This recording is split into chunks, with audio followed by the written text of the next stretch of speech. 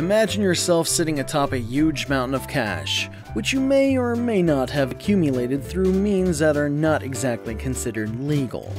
What if the money you were able to gain gave you billionaire status and enough purchasing power to buy everything you ever wanted? Wouldn't you like to make sure your money always appears clean? This is Fraud Explained. To enjoy more videos, subscribe to my channel and click the notification bell or else I'll be looking into you too. So, first things first, what exactly is money laundering? Well, money laundering is when you take funds that you were able to gain through practices that may not exactly be allowed and conceal where they really came from, thus making them clean. Money laundering came to be the term for any process that, in effect, cleans dirty money, allowing it to be used in your everyday purchases. Now, to be able to launder money, you're going to need to move a few things around. Transferring money and other ways to avoid negative outcomes is something of an art form. It can be done by small, medium, and large enterprises alike. Small time criminals and billionaires and even big investment banks are able to come up with such a scheme in order to make sure that money stays with them, no matter how questionable its origins. Now, the question is, how exactly do you go about legitimizing questionable revenue that you were able to gain through a few not so legitimate means? The very first step is to make sure that your assets are well away from the clutches of authorities who could pry. Second, you would want to try and avoid paying taxes at all so that it cannot be so easily traced. You also need to make sure that you have easy access to your cash and that you can take it out and spend it any time that you like.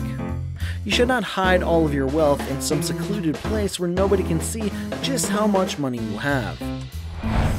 no. What is the point then of having any money at all? You want to be able to spend it as much as you please on supermodels, fancy cars, fine dining, luxury vacations, you name it.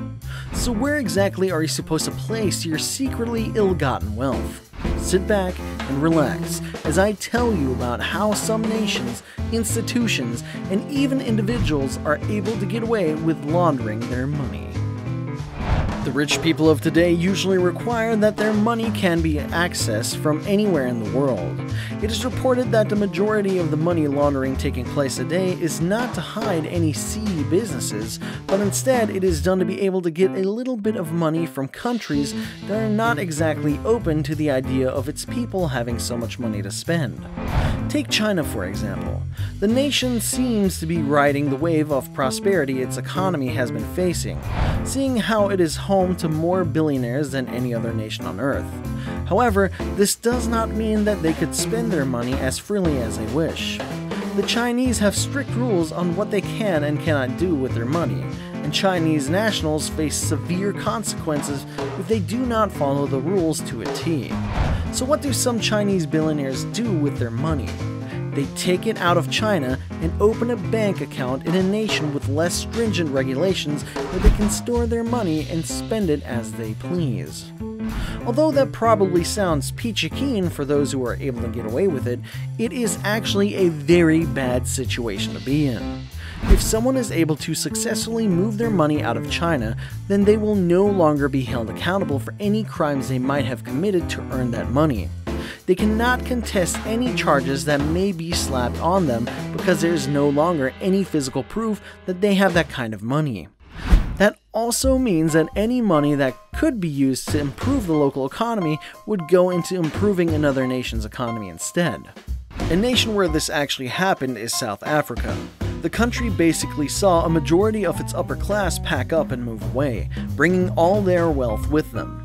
Because China does not want the exact same thing to happen to them, the government set strict limitations on how much Chinese yen could be exchanged to other currencies in a year. Individuals are only permitted to exchange 50,000 US dollars worth of Chinese money in a year. Now, if you were living in China and you had something like a billion dollars, moving 50 US dollars at a time isn't exactly going to get you living life in the fast lane fast you're going to need to speed things up a bit, so you would need to course your money through a casino. Luckily for you, the country is just right next door to Macau, which is best known for its luxurious gambling industry. The city of Macau is the most prominent gambling center in the world, beating out even glitzy Las Vegas. Now, what you do next is you buy a tourist package and convert $100 million of your money to poker chips and play some games using those chips. You would need to make it seem like you were able to earn your 100 million in Macau instead of China, and gambling away some might just give you the perfect cover. Now, when your high rolling vacation is over, you can then settle your chips and cash them into dollars, which allows you to go around Chinese law and get all your money to yourself, without having to worry whether or not you're being monitored for your excessive spending habits. You may be wondering to yourself, why is China letting its people get away with this? The answer's simple since Macau is a special administrative region of China, if China interferes with Macau's main industry and attempts to shut it down, it would look very bad on China for people to see the Macau's economy dwindle right as the nation fell under Chinese rule. This would come at an especially bad time, as China is currently trying to convince other small nations to follow Macau's example. Additionally, China is also trying to take more preventative measures against money laundering, but it just means that citizens need to travel a little further to be able to execute the process. Speaking of getting all the money to yourself, let's take a look at the life of Al Capone. Al Capone is known as one of history's most notorious gangsters. He was the leader of a very profitable empire of organized crime, but when he was finally put on trial, he could only be convicted of trying to get out of paying his taxes. His earnings back in his day was roughly 100 million a year, which is equivalent to a billion dollars in today's currency. He was able to earn all of his money from illegal gambling, bootlegging, prostitution, and extortion, among other things.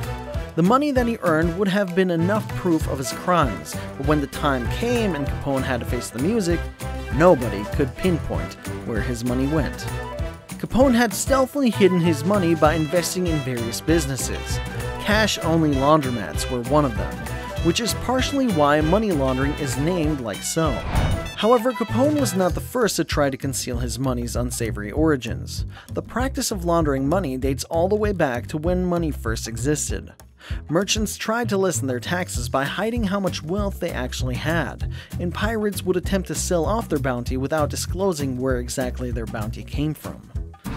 The dawning of the virtual age opened up more doors for people to be able to more easily process their funds and has also unfortunately paved the way for more people to be able to seamlessly launder their money. There are three basic steps in laundering money.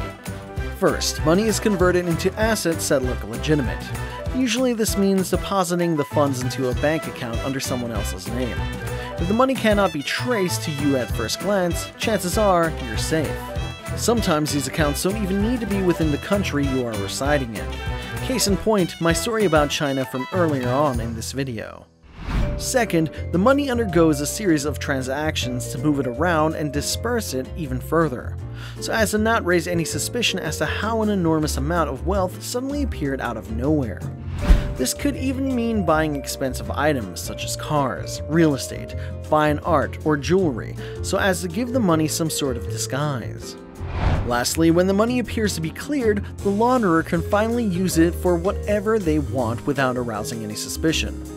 They may invest it into legal businesses and claim that it was a payment for goods or services, or they could even set up a fake charity where they could control the distribution of the money.